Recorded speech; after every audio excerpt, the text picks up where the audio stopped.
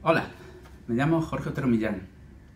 Soy ingeniero de telecomunicación por la Universidad de Vigo y ahora trabajo como profesor en la Escuela de Optometría de la Universidad de California en Berkeley.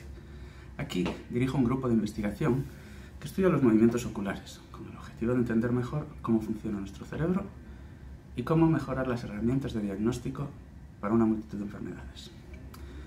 La verdad es que nunca pensé ni me planteé que acabaría aquí, pero cuando terminé la carrera me surgió la oportunidad de trabajar como programador en un laboratorio de neurociencia en Phoenix, en Arizona.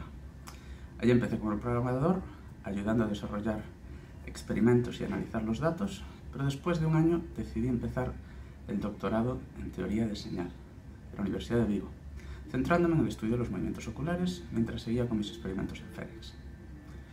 Después de varios años en la Universidad de Hopkins, haciendo una estancia de postdoctoral y aprendiendo más sobre la utilidad clínica de los movimientos oculares, conseguí mi puesto de profesor en Berkeley, donde he empezado a montar mi propio laboratorio y grupo de investigación el verano pasado, en 2020.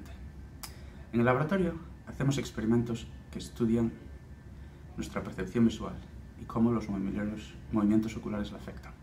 Y también desarrollamos nuevos métodos y software para mejorar cómo medimos y analizamos estos movimientos oculares o cómo los utilizamos para el diagnóstico de pacientes. Por ejemplo, los movimientos oculares nos sirven para saber si alguien que tiene un mareo o un vértigo está sufriendo de un problema benigno en el oído o algo mucho más grave en el cerebro.